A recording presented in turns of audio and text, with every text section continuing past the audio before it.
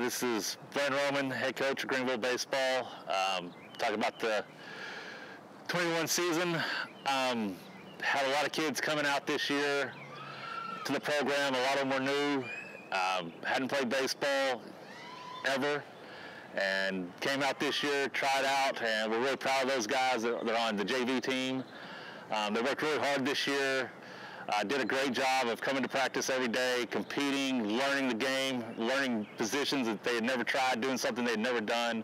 Um, we're really proud of those guys for all the work they put in, um, all the growth that we saw from the beginning of the season to the end of the season, and we're really proud of how those guys came out every day to practice, um, how they went out and competed and just fought and showed what it was to be a Greenville Lion uh, for the younger guys, and it was uh, we're proud of them um, for the way that they did.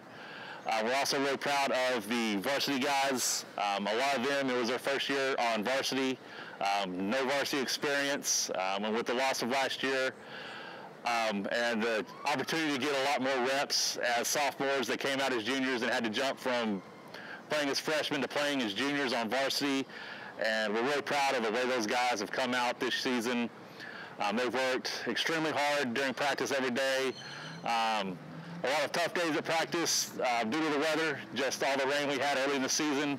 Uh, we had to go indoors to practice a lot, and it's always difficult to work on some things when you're in the indoor, but they worked, they found a way to work around those problems and issues and put in the work, put in the rep, get in the reps that they needed to uh, continue to grow as baseball players and just get better and better um, throughout the season. And uh, once we were able to get out on the field and start playing in games, um, we really saw a lot of growth from the first of the season to the end of the season. Uh, the way they've been able to compete. Uh, we played some really good teams in the district we're in this year, and I've watched them go out and go toe to toe with some of the best teams in the state and put up a fight. And no matter what anybody said, what anybody thought, they've continued to just believe in themselves, can believe in each other, uh, fight as teammates, fight together, fight for each other, and just go out and play hard. And we've watched all season as guys have just grown and become better and better baseball players. Uh, we're really proud of the work they've put in, the growth they've made. And with all the growth they've made and continue to put in work over the summer and going into next season, uh, we really think that the group of kids that we have coming back next year on both the JV and the varsity um, can really do something special for this team going into the 2022 season. Um, really proud of the seniors we've had this year. Um, didn't have a lot of them, but the ones that we had made up um, for the numbers um, by their heart, by their dedication, by their work ethic, um, by their leadership um, as seniors. And they were both kids that had been in the program for all four years in high school, and they have grown and developed over those four years to be leaders on the team. Uh, one of them, by far, is one of our best players, and he can play any position on the field, and it doesn't matter where you ask him to play, whether he's played there or not.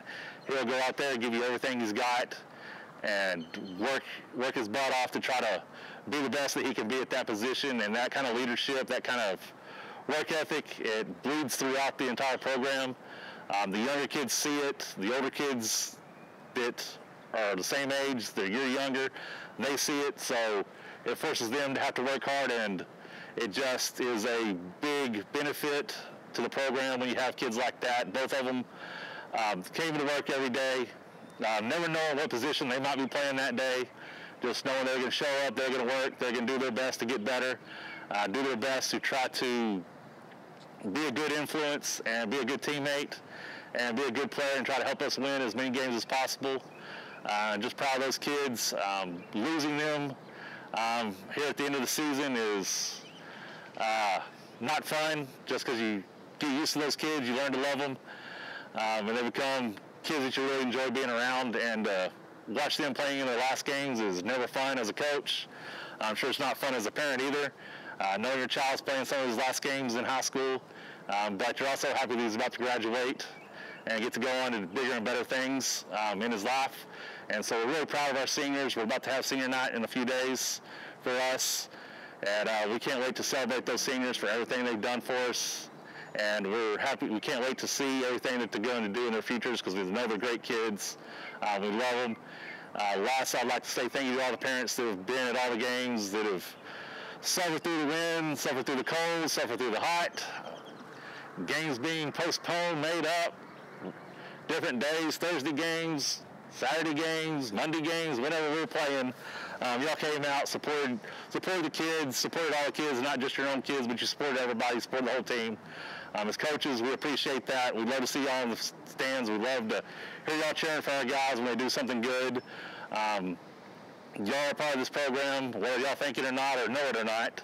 Um, y'all are truly a part of this program. It, we couldn't do what we do as coaches if it wasn't for y'all uh, pushing your kids to play, um, making sure that they're responsible and show up to practice every day, and that they all just have instilled in them the kind of work and work ethic that they need to have to just take on a challenge and to keep getting better and better and just working at it every day and never being satisfied and always just working to improve.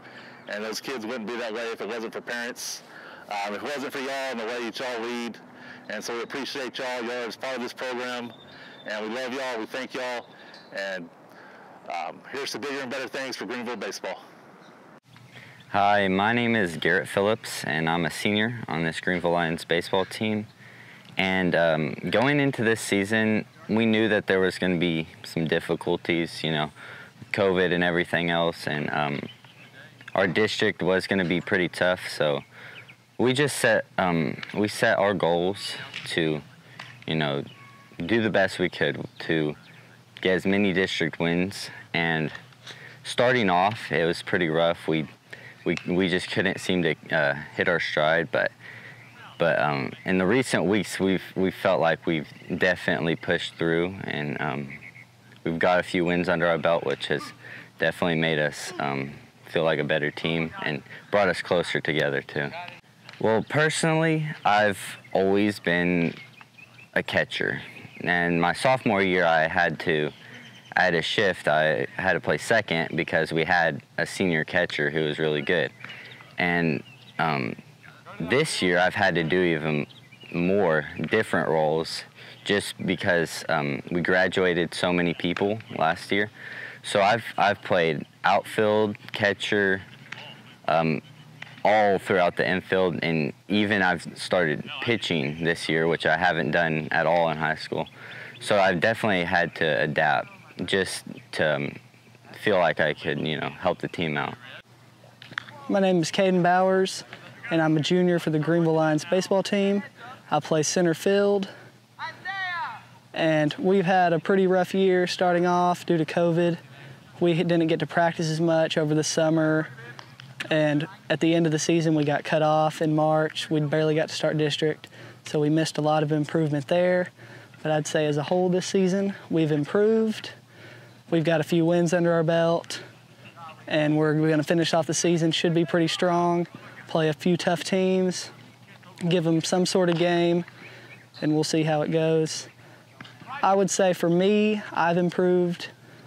Um, the coaching has really helped me. My hitting has improved pretty good. The fielding as a whole, at the beginning of the season, we were rough in fielding. We made a lot of errors but I'd say as a whole, we've cut the errors down to just a couple a game, and our hitting is just starting to pick up as the season ends. So hopefully next year we should come together. We have a lot of seniors next year, and we should be really good. Big hopes.